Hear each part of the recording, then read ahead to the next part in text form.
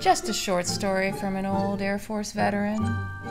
I spent over 10 years working in cleared jobs and high profile environments, one of which no such agency will be named.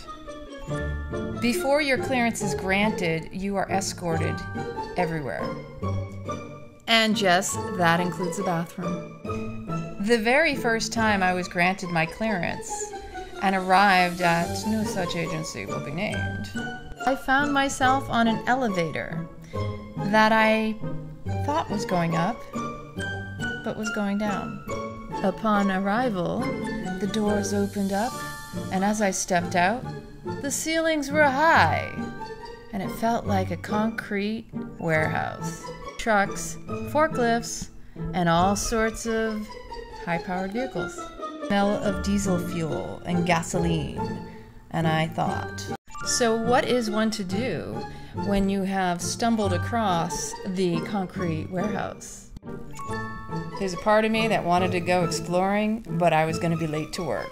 So, what is one to do but to turn around and jump back up on that elevator and go to the right direction, up? Phew! So, as I made my way back through the maze, up the elevator and down the halls and into my office, because I had heard stories about people wandering around in the basement. The first words out of my mouth were, when I arrived and saw my colleagues, was, Now I understand. Those stories are true, but I didn't anticipate the vehicles. I got a smile, I got a chuckle, I got laughed at because it was quite comical. But the moral is there are tunnels under these grounds.